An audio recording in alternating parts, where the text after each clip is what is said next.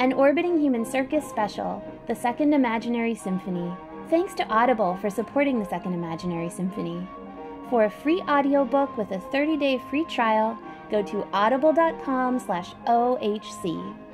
And thanks to our sponsor Merge Records, the North Carolina label that has been putting out independent music since 1989. Check out the janitor songs from the first season of the Orbiting Human Circus of the Air, available digitally now and coming soon as a very special limited edition 10 inch.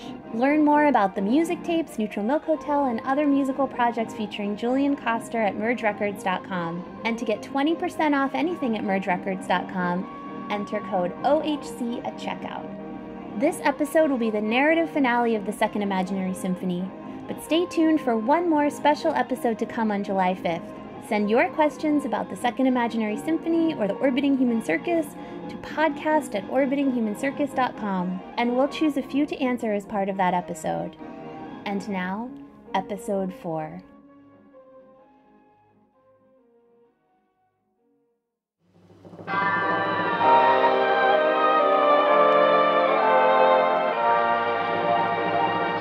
You are listening to the Perpetual Broadcasting Corporation. It's Platypus Eve. I cannot begin to describe our Platypus Eve festivities. I can only tell you that it is one of the most lovely evenings of the year. And that it begins with all of Paris listening to the final broadcast of the Second Imaginary Symphony. And ladies and gentlemen, the moment has come. This is Augie Plumb.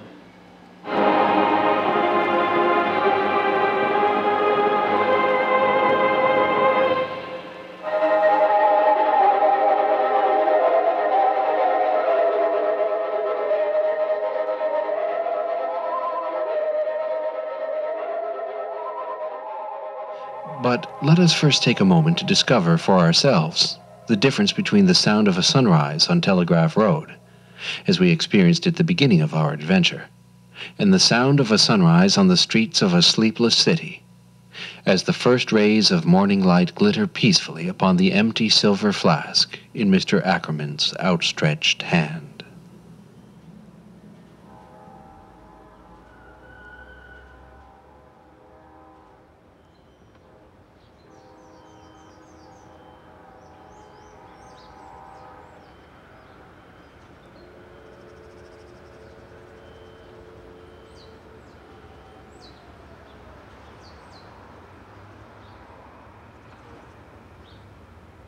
Nye, said Mr. Ackerman.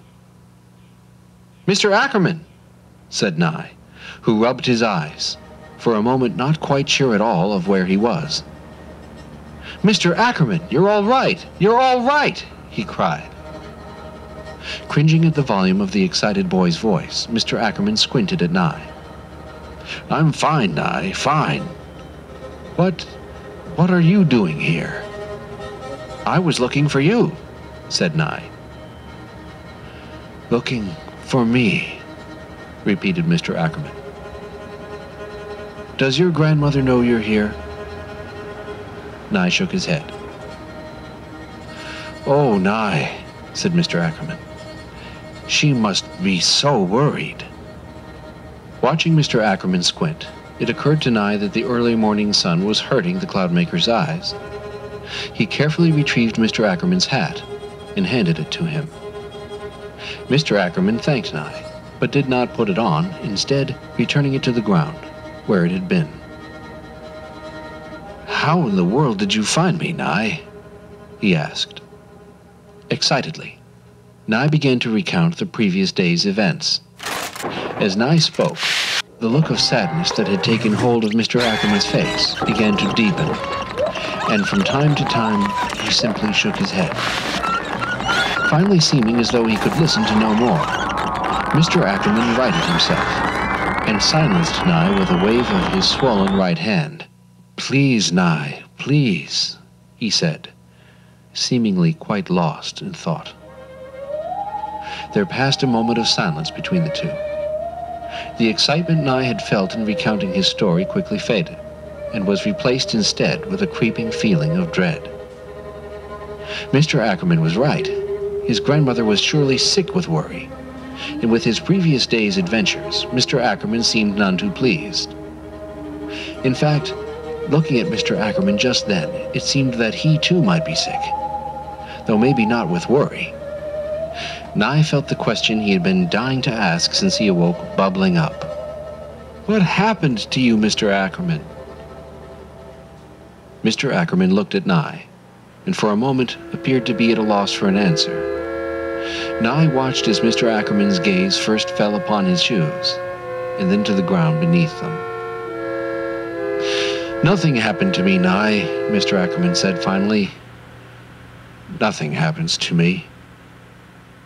The boy looked up at him expectantly, waiting. I just left. Mr. Ackerman looked at Nye. I got fed up and left. You'll understand when you grow up. But the cloud makers, they need you. Mr. Ackerman looked down at the little boy before him and shook his head.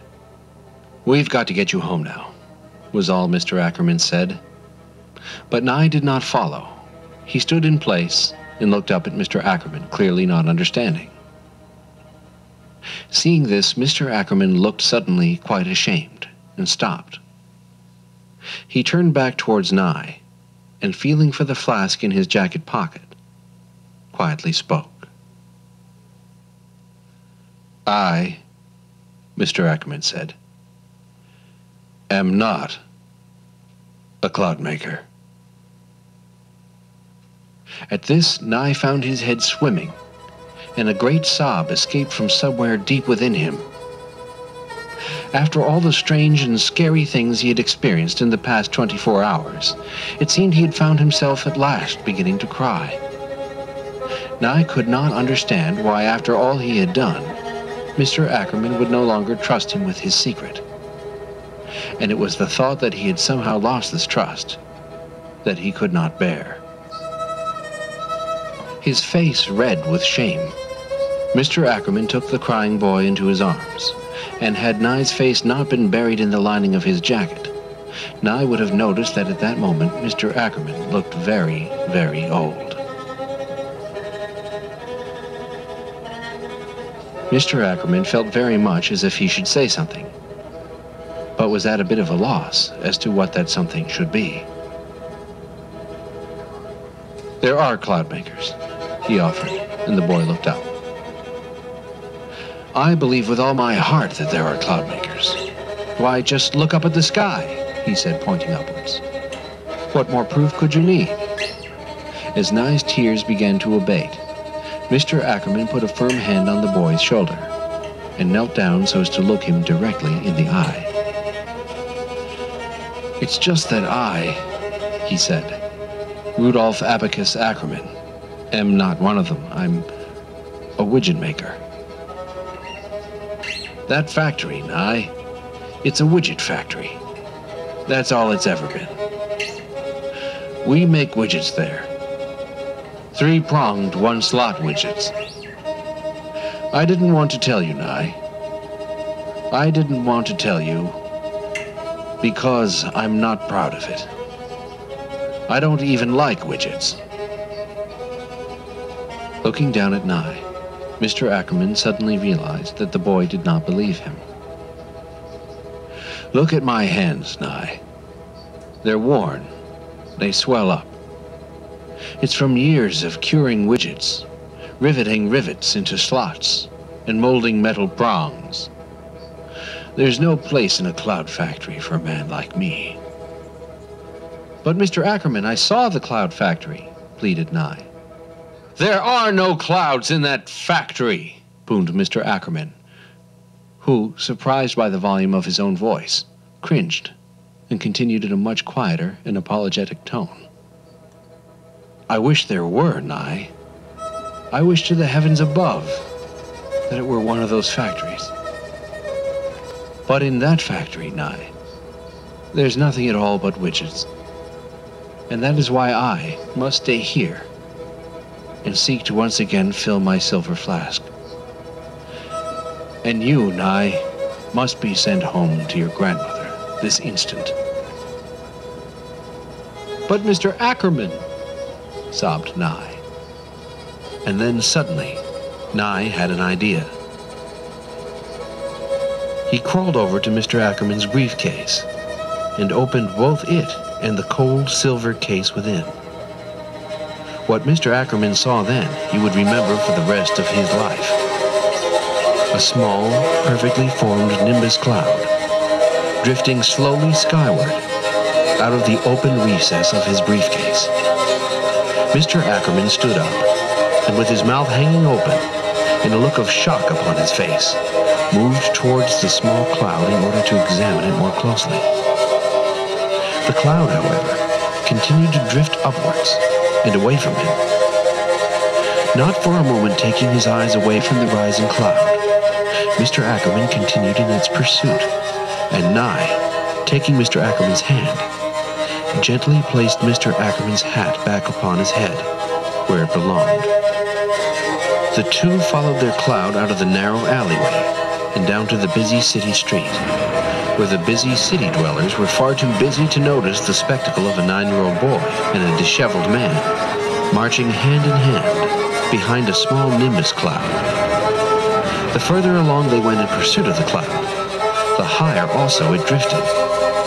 Mr. Ackerman never for a moment took his gaze away from the cloud, like a man hypnotized. And when Nye finally did, he found that things were once again beginning to look familiar. The cloud, it seemed, was leading them home.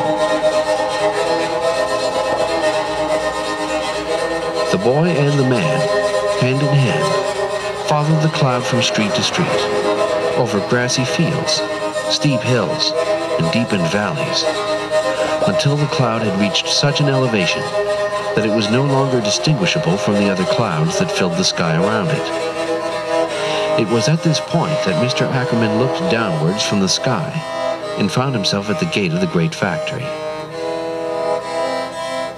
The guard at the gate smiled warmly and beckoned for both Nye and Mr. Ackerman to come in. But Mr. Ackerman hesitated. He was no longer sure of what awaited him and the little boy inside, and was suddenly quite afraid. I'm just an ordinary man, he said, backing away. The guard put a reassuring hand on Mr. Ackerman's shoulder and led him through the open factory gate. Now flanked on either side by the guard and the little boy who was still holding his hand, Mr. Ackerman began to walk tentatively forward, and the awkward threesome soon made their way to the huge double doors that marked the factory's entrance.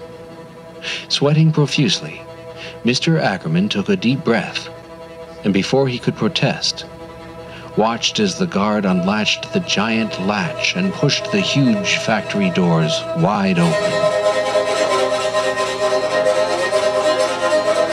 What Mr. Rudolph Abacus Ackerman saw then was at once the most amazing and beautiful thing that he had ever seen.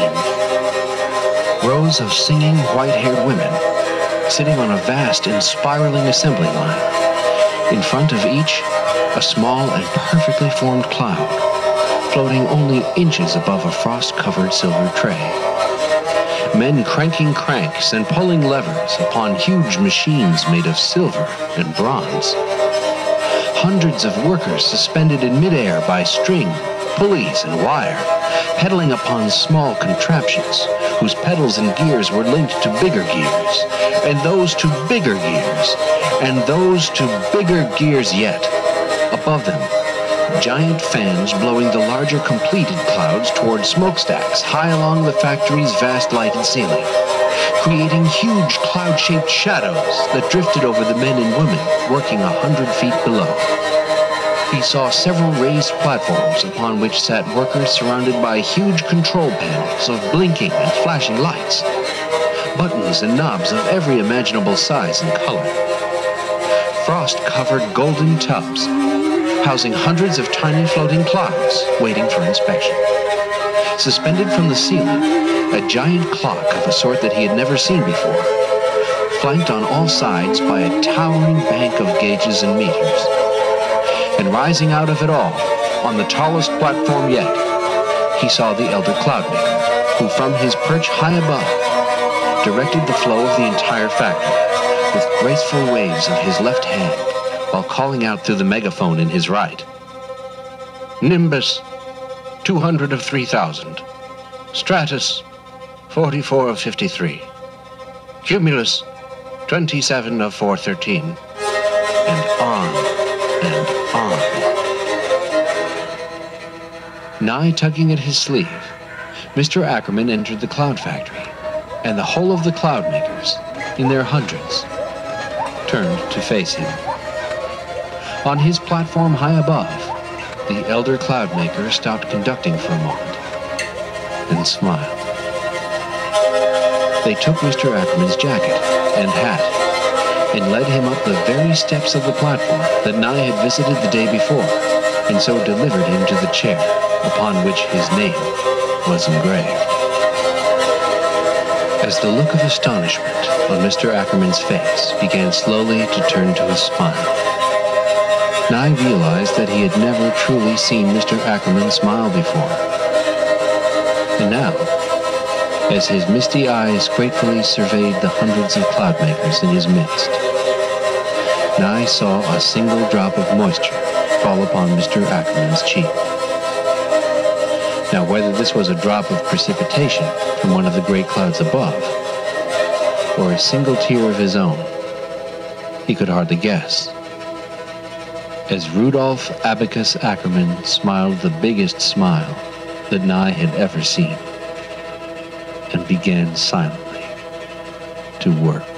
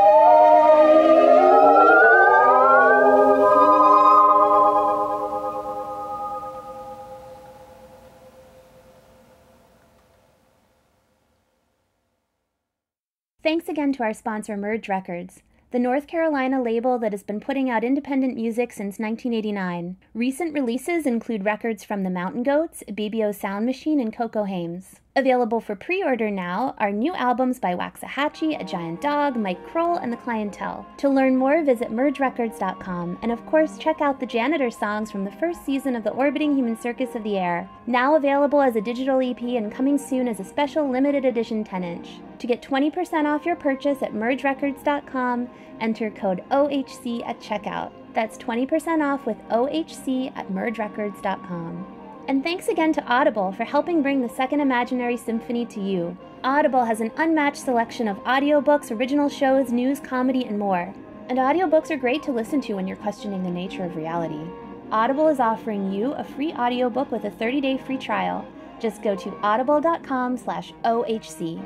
I've been listening to The Lonely Hearts Hotel by Heather O'Neill, a love story about two orphans with an unshakable childhood dream following them as they grow into brilliantly talented performers caught in 1930s Montreal's seedy underworld. To listen to this book or anything else from Audible, go to audible.com slash OHC for a free audiobook with a 30-day free trial. That's audible.com slash OHC. And finally, send your questions about the Second Imaginary Symphony or the Orbiting Human Circus to podcast at orbitinghumancircus.com, and we'll choose some to answer in episode 5. The Second Imaginary Symphony is written, directed, and audio produced by Julian Koster, performed by Brian Dewan, and produced for podcasting by Christy Gressman. With Augustus Plumb as himself, Second Imaginary Symphony music by Julian Koster and the Music Tapes, and Perpetual Broadcasting Corporation music by Thomas Hughes. For more information, go to orbitinghumancircus.com. The Orbiting Human Circus is part of the Night Vale Presents network. To learn more, go to nightvalepresents.com.